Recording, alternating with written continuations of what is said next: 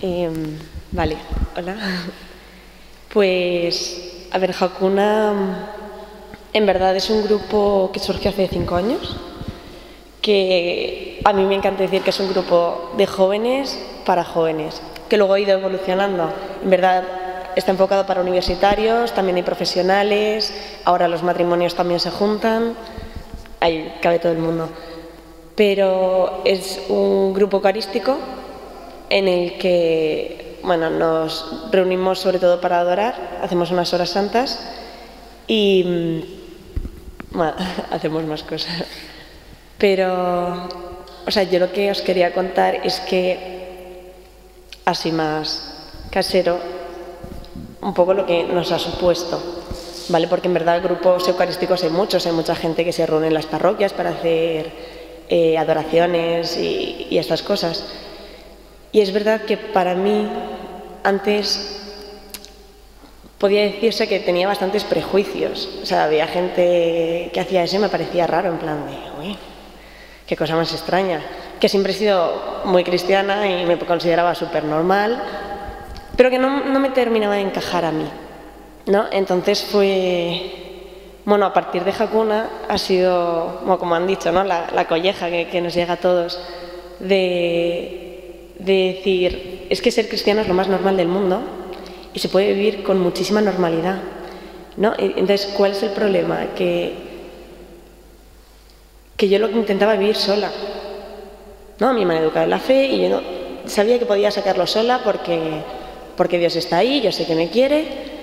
Entonces, a partir de Hakuna, yo he, he experimentado que Dios me quiere, que es como muy distinto, de saber experimentar. Entonces, yo toda mi vida llegaba a una iglesia y nada, me sentaba en mi banquito ahí tal, tranquila. Y recuerdo una de las primeras horas santas que llegué a Jacuna, ya os digo, yo, esto es raro, la gente se sentaba aquí, en el suelo, al pie del altar. Y yo flipaba, en plan, ¿qué hacen? ¿Qué, por, por, qué se sientan ahí? Y a medida que, que iba yendo decía, es que pueden estar más cerca del Señor, es que es flipante, ¿no? El, el, es que Dios está aquí y yo puedo estar aquí, al lado, y, mirarle y decirle y, y, hasta enfadarme con él si quiero. ¿no? Es, ha sido el cambio este, además vivido con toda la comunidad de jóvenes, que es que también ha sido un cambio para mí muy fuerte de decir, no estás sola. ¿no? Entonces hay muchísimo ambiente de gente que, que se quiere muchísimo. ¿no? La gente cuando baja con una por primera vez una de las cosas que dicen es, eh, les llama la atención cómo se quiere la gente. Y la verdad es que yo llego los lunes y me hace muchísima ilusión ver a todo el mundo, saludar a todo el mundo, todo el mundo contentísimo. Y luego nos vamos a por unas cervezas y todo el mundo feliz y, y se transmite. Entonces, ya no es un momento de tu día, es un estilo de vida totalmente. Te implica a vivir en todo, toda tu vida con, con, esa alegría y esa predisposición a decir, ya no vivo y el Señor es, está ahí y forma parte de mi vida, sino que vivo con el Señor en todos los momentos de mi vida. Entonces, ha sido como ese cambio, me estoy viendo un poco porque no era lo que quería decir para nada, pero bueno. Y bueno, va, va, va a contaros Javi un poco cómo empezó todo esto porque no lo contado muy bien, pero bueno en teoría era al revés, ella contaba cómo empezaba, pero bueno, da igual, las cosas son así. Nada, eh, yo soy Javi, bueno, tengo 21 años y conozco a Hakuna desde hace dos, que es cuando empezó en Valencia, porque Hakuna es un grupo que empezó en una parroquia de Madrid con un sacerdote que se llama José Pedro Manglano y empezó con jóvenes con los que llevaba la parroquia a hacer eso, adoraciones. Y hasta que se fueron a la JMJ de Río de Janeiro, que creo que es 2013, ¿no? Sí, bueno y entonces ahí empezaron y además eso, a lo mejor gente de Madrid que, oye, yo conozco a no sé quién de Barcelona, entonces se unió gente de Barcelona y empezaron ahí lo que era, bueno, tampoco llegó a ser el concepto Hakuna, pero como si esa unión, esa esencia a lo mejor. Y entonces eh, fue creciendo, de hecho eso fue creciendo, no es algo que, o sea, porque es que está pasando, no es ni nuestro ni nada, está pasando que está creciendo porque es algo de Dios realmente, no es algo podemos intentar tratar de llevarlo nosotros, pero es que si lo llevamos nosotros, si decimos, no, esto sale por mí, se hunde, lo está llevando Dios. O sea, no es algo para mí, esto es algo para Dios. Entonces, gracias a eso, gracias a la gente que lo reza, gracias a la gente que lo intenta vivir así, gracias a la gente que lo intenta sacar adelante, pero con Dios, no con ellos, o sea, ser instrumentos de sacarlo, no ser ellos los que lo están sacando. Entonces, gracias a eso, esto está creciendo muchísimo, ahora está en 20 ciudades distintas de España. Entonces, eso empezó a crecer poco a poco, hacen distintas cosas, o sea, están las adoraciones, las horas santas, que se hace, por ejemplo, todos los lunes, los hacemos, casi todas las ciudades lo hacemos los lunes para unirnos en eso, o sea, en diferentes partes de España, pero unirnos en la oración a la misma hora todos los lunes. Eh, pero también hacemos grupos, o sea, está lo que se llaman los revolcaderos, que suena un poco mal al principio, bueno, a mí ya no me suena mal, pero me imagino que al decirlo a lo mejor suena mal. Y los revolcaderos son grupos como de formación, nos unimos entre 7 y 14 personas y, tenemos unos temas. Entonces nos unimos en una casa pues para cenar o en un bar para tomar cervezas y no sé qué, y alguien se prepara el tema y es un grupo en el que no es debatir porque nadie tiene que convencer a nadie de nada. O sea, ni somos personas que pensemos igual en todo, o sea, podemos ser personas distintas, o sea, que pensemos dentro de lo mismo a lo mejor de maneras distintas, pero está el respeto en medio siempre de tú piensas eso, yo pienso esto, entonces nadie intenta convencer a nadie de nada. Entonces, nadie, alguien se prepara el tema y durante 15-20 minutos lo expone y luego se habla sobre ese tema. Y es algo que a mí me parece, no sé, me parece además eso en la sociedad a lo mejor en la que vivimos un poco, ponerte a hablar de un tema realmente trascendente, que siempre a lo mejor hablamos de tonterías, nos centramos en tonterías, es algo que me impactó muchísimo, poder juntarme y estar más de una hora hablando con gente de mi edad de cosas a lo mejor que están relacionadas con, o sea, a lo mejor no, que están relacionadas con Dios, con la vida cristiana y tal. Y, me impactó muchísimo. Luego tenemos otras actividades que se llaman God Stop, que para de Dios son ejercicios espirituales. Entonces, un fin de semana nos vamos, desconectamos. y soy una persona viciadísima al móvil. Pues es que llegan esos momentos y digo, es que dejo el móvil y es que es lo que más, de verdad, lo que más me ayuda, lo que más me hace que me aleje de mí para acercarme a Dios. O sea, eh, yo toda la vida he tenido a Dios ahí, lo he tenido siempre. No, nunca he considerado que me he alejado de Dios ni nada. Solo que el cambio que yo he vivido es, o sea, yo iba a un colegio católico y tal, eh, eh, salía al patio y tenía el oratorio al lado, me iba a rezar, entonces yo, yo, hacía en plan de la proporción de, no sé, voy más veces a misa, soy mejor católico, ¿no? Soy mejor cristiano, me confieso más, buah, estoy mejor, no sé, todo en plan matemático hacía las cosas porque hacía que había que hacerlas y yo, ah, pues estoy haciendo esto, qué bien. Entonces llega a la universidad y no te das cuenta de lo que tienes hasta que lo pierdes. Entonces yo no me alejé ni nada, pero no tenía un oratorio al lado mm, de mi patio, no tenía eh, un sacerdote con el que hablar en cualquier momento y, y las cosas se descuidan y además la gente es diferente, o sea, ni mejor ni peor, es diferente, entonces no vives lo mismo, es mucho más fácil vivirlo con gente que, que, a lo mejor, o sea, que piensa como tú. Y entonces llegó ese verano, yo primero de carrera lo pasé en plan sin más, pues iba a misa los domingos perfectamente, me confesaba cuando lo necesitaba y ya está. Y llegó la, la JMJ de Cracovia. Y entonces fui con un grupo de Málaga como monitor de unos niños pequeños con dos amigos míos. Y nada, súper bien y tal, pero eh, en ese momento, o sea, yo, bueno, tuve momentos muy fuertes de oración, de realmente decir, esta es la primera vez que hago oración en mi vida y, realmente no he dicho nada. Simplemente me he puesto delante del Señor, de hecho estaba, o sea, me acuerdo, estaba de rodillas en la puerta de la misericordia y, y estaba de rodillas así, impactado, en plan, qué grande es esto, qué guay, no sé qué, pero pensando a saber. Y de repente me giré y, y vi a una chica que estaba llorando, pero vamos, como si le hubiese pasado la tragedia más grande del universo y en ese momento yo hice así, miré al Cristo de la Misericordia y empecé a llorar, pero brutal, o sea, impresionante. Y no decía nada, simplemente me le miraba, pero me entró una paz impresionante de decir, estoy haciendo oración mejor que en mi vida y no estoy haciendo nada, o sea, justamente me estoy despreocupando. No estoy intentando yo decir, ah, pues ahora le voy a pedir esto y ahora tal. No, era me dejo llevar y ya está. Entonces, eso y luego mucho el tema de estar, no sé cuántos millones de personas éramos, pero de ver a tanta gente joven y decir, joder, es que en verdad no estoy solo.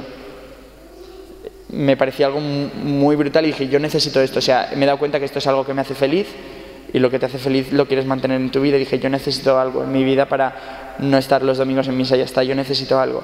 Y entonces te lo juro, fue providencial, o sea, fue Dios me plantó en la cara Hakuna. Y fue volver justamente de la JMJ, que sería en agosto, y entonces en septiembre, o sea, final, en mediados de agosto nos dijeron, hoy vamos a hacer el Camino de Santiago, eh, lo organizaron cuatro personas y cada persona invitaba a cinco o seis, entonces nos uniríamos 20 y algo, ¿sabes? Y yo a lo mejor conocía la mitad. Y entonces nada, hicimos el Camino de Santiago con gente que a lo mejor no conocía, gente que más menos tal, y ahí de repente dos amigas que habían ido con Hakuna, ellas no lo conocían tampoco, se habían lanzado a ir con Hakuna porque todos los veranos hacen un viaje. Se habían ido a Albania y luego a la JMJ. Y entonces hicieron el Camino de Santiago para comentar lo que era Hakuna y empezarlo en Valencia. Pero nosotros no nos dijeron nada, empezó el Camino de Santiago.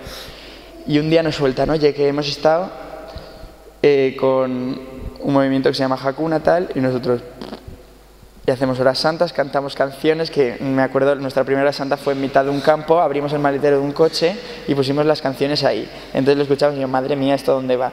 Pero bueno, yo dije, eh, me estoy enrollando mucho, pero bueno, y, y dije, bueno, yo quería algo y de momento estoy teniendo algo bien. Y entonces la primera hora santa en Valencia vino José Pedro Manglano, Josepe, y hicimos una hora santa con él y fue lo mismo. De repente, en la forma en el momento de la, o sea, de la bendición, yo quedarme mirando y es que, o sea, no tiene explicación, te podría decir tal, no, no tengo ni idea, pero en ese momento me pongo a llorar y me veo enano al lado de él y digo, joe, es que lo necesito, de verdad. Y, y entonces fue algo muy heavy. Además, es que Hakuna, mi madre hace cuatro años me enseñó un vídeo, mira, es un grupo que se llama Hakuna y cantan y no sé qué, me lo puso en Facebook y yo, en plan de qué ridículo, ¿sabes? Es algo que...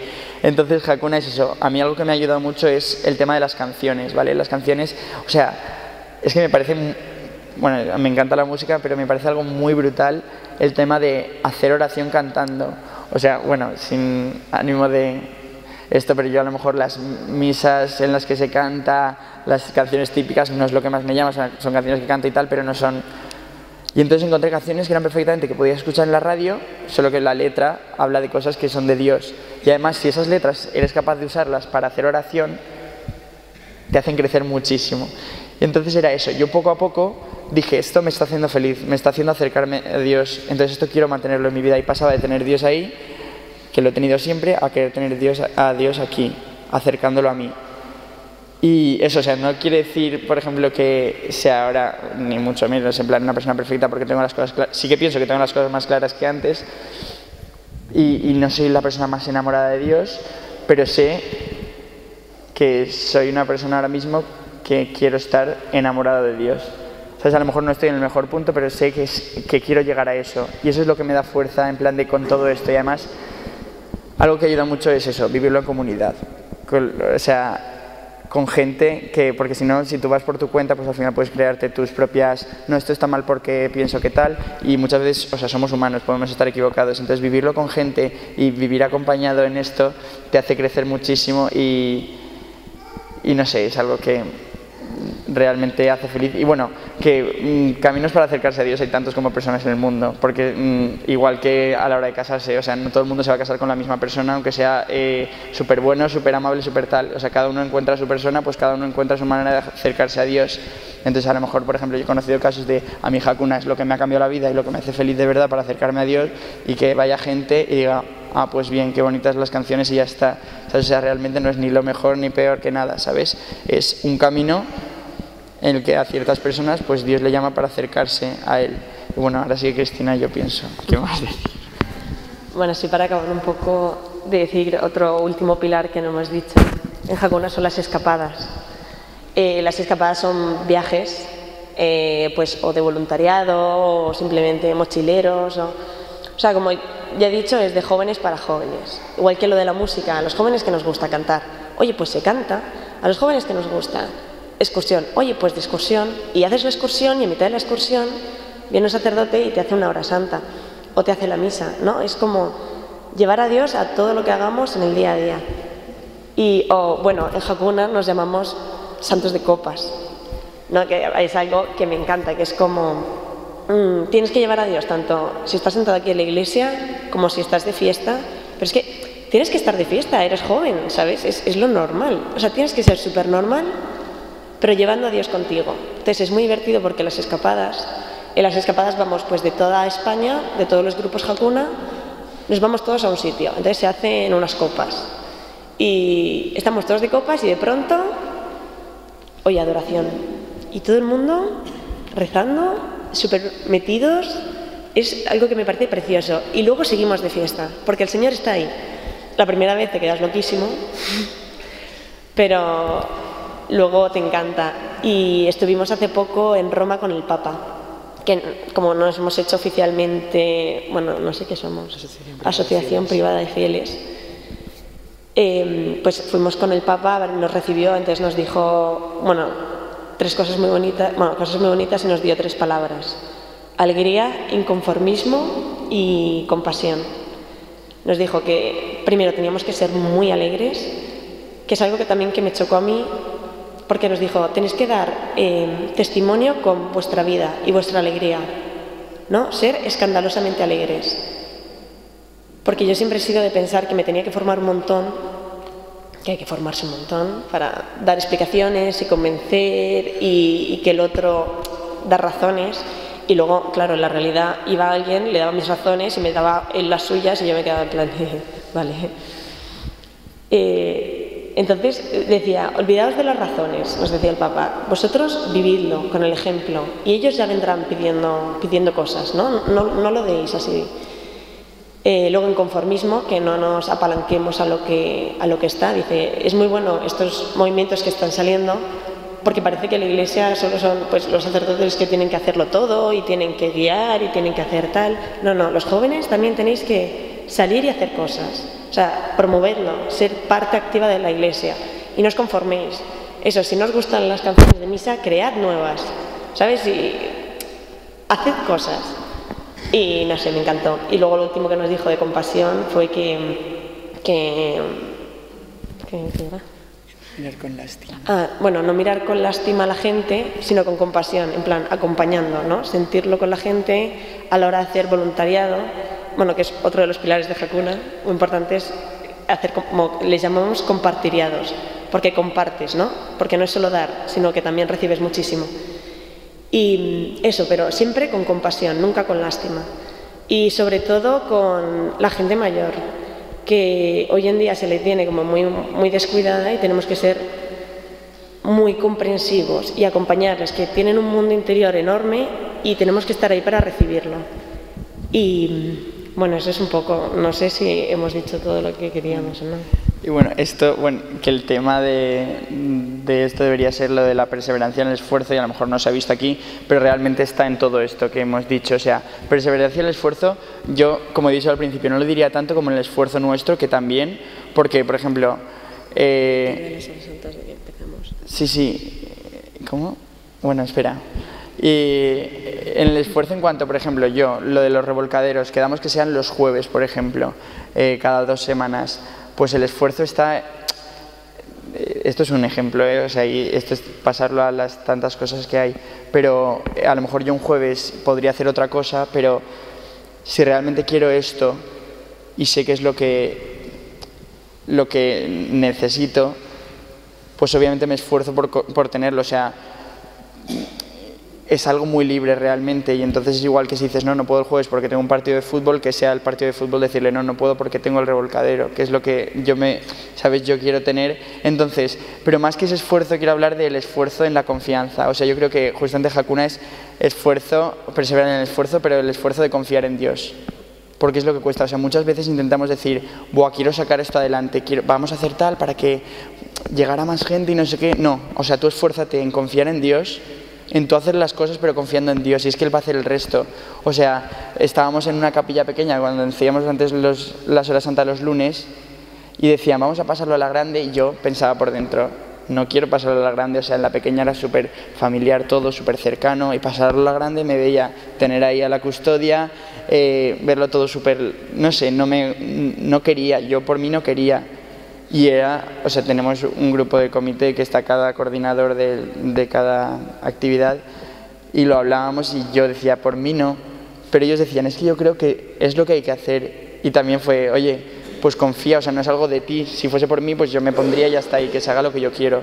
No, pero ahora hemos pasado a la grande y de repente este año que eso, da igual los números realmente, o sea, como si hubiese 10 personas, nos da igual, o sea, realmente es que esas 10 personas estén convencidas de lo que están haciendo y les esté llegando de verdad, pero es que se está llenando de los lunes la iglesia que tiene cuatro filas de bancos enormes y se está llenando, y entonces yo a lo mejor ahora pienso y digo, imagínate que si nos llegamos a empeñar, bueno, que habría venido la gente, pero es, es eso, o sea, que si pasan las cosas, pasan por algo, tú confía porque no lo estás haciendo tú, tú estás poniendo manos, poniendo cuerpo físico a lo que Dios quiere hacer. Entonces yo creo que el esfuerzo más grande que hay que hacer es eso, confiar en Dios y no ser nosotros los que movamos los hilos de las cosas. Y bueno, no sé si querías decir algo más. Nada, yo creo que es eso. Si tenéis alguna duda, o sea, no sé ni qué hemos dicho, pero bueno. Ya, perdón, nos hemos liado un poco. ya estaría.